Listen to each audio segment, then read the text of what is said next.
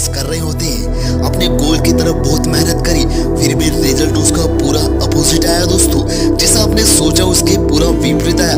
फिर मन उदास हो जाता है जो हिम्मत होती है वो भी टूट जाती है। ऐसा लगता है सब कुछ खत्म हो गया।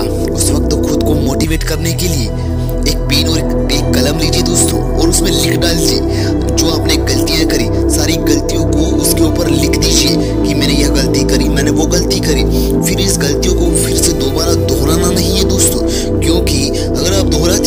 फिर से वही सिचुएशन बनेगी, क्योंकि गलतियाँ एक बार होती है बार बार नहीं। और जो गलतियों उसको सुधारने, वही इंसान है, वरना जो गलतियाँ पे गलतियाँ करता जाए, वो जानवर कहलाता है। दोस्तों, हिम्मत मत हारना। दोस्त, कमज़ोर तेरा वक्त है, तू नहीं।